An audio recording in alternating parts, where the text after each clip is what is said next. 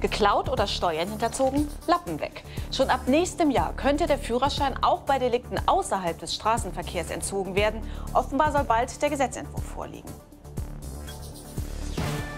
Guten Abend und herzlich willkommen zu den Nachrichten. Und das sind unsere Themen heute. Handelsbeuten. Fahrraddemonstration in Karlsruhe. Traktorkorso in Neu-Ulm. Menschenkette in Berlin. So vielfältig wie die Kritik am geplanten Freihandelsabkommen mit den USA wurde auch der europaweite Protesttag dagegen. Mehrere tausend Menschen gingen allein in Deutschland auf die Straße. Aber auch die Befürworter melden sich zu Wort, wie Sebastian Planthold berichtet. Griechenland hofft auf Milliardenzahlungen aus Russland. Wer klaut oder Steuern hinterzieht, könnte bald seinen Führerschein los sein. Justizminister Maas will den Gesetzentwurf laut einem Zeitungsbericht noch dieses Jahr vorlegen. Schon 2016 könnte es dann ein Fahrverbot als Strafe geben, auch bei Delikten außerhalb des Straßenverkehrs. Das soll mehr Wirkung zeigen als die bisher üblichen Geldstrafen. Mehr von Angela Friedrich. Bei der Bahn könnte bereits nächste Woche wieder gestreikt werden. Der Chef der Lokführer die Spur eines der frechsten Diebstähle in der englischen Geschichte führt womöglich nach Deutschland. 2013 wurde in Berlin eine Bankfiliale ausgeraubt. Die Täter kamen durch einen Tunnel.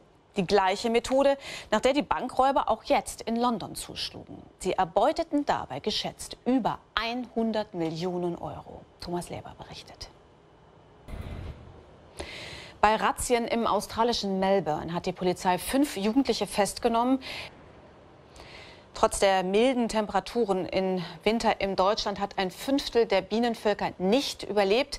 Denn auch ihr größter Feind, die Varroa-Milbe, profitierte vom milden Winter. Dazu kommt eine nicht gerade bienenfreundliche Umwelt. Besonders hohe Verluste verzeichneten die Imker in Bayern, Mecklenburg-Vorpommern und Sachsen-Anhalt. Die Sprengung eines 122 Meter hohen Schornsteins im sächsischen Elsterberg ging. Schnittiges Design, waghalsige Piloten, verblüffende Flugkunststücke. Gibt's alles auch bei Papierfliegern. Zu bewundern war das heute in Friedrichshafen am Bodensee. Dort wurde der beste Papierfliegerpilot Deutschlands gekürt. Der darf dann nach Salzburg fahren. Es gibt nämlich sogar eine Weltmeisterschaft. Matthias Hereiner hat auch gestaunt. In Sochi kämpfen die deutschen Tennisdamen an diesem Wochenende gegen Russland um den Einzug ins Finale. Der liegt nach einem verpatzten Samstag allerdings in weiter Ferne. Das Team von Barbara Ritter liegt 0 zu 2 zurück.